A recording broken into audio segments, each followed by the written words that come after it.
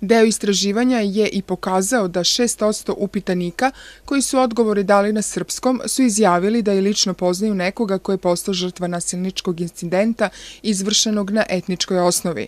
Kod upitanika Mađara se ova brojka popela na okruglih 30%.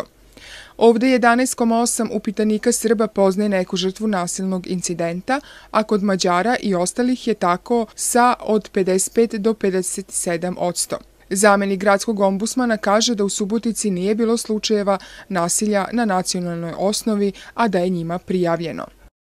E, takvih žalbi nismo imali, odnosno e, mi nismo e, tokom postupka koje mi sprovodimo da utvrdimo da je bilo takvih e, slučajeva u gradu, tako da to u pričama ima da je neko zato što je Srbin, drugi zato što je Mađar, doživio neku neprijatnost.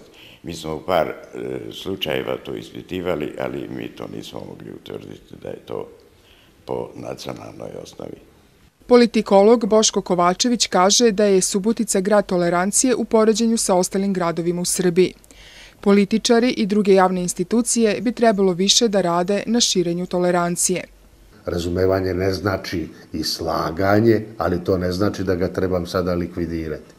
Ta vrsta fragmentacije koja se desila i koja je proizvedena od političkih i javnih subjekata i aktera, ona danas ima i tekako još uvek veliku, veliku oktavu prisutnosti u, ovoj, u Subotici. To je jako loše.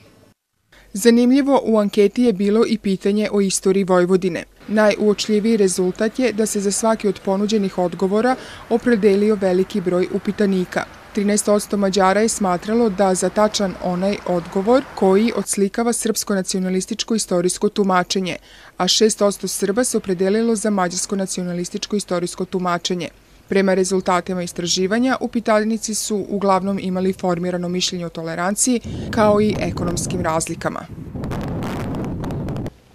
Da bi Subotica u punom smislu reči bila grad tolerancije, trebalo bi više da naučimo da živimo jedni sa drugima, a ne jedni pori drugih, da poštujemo svoje različitosti i učimo o njima.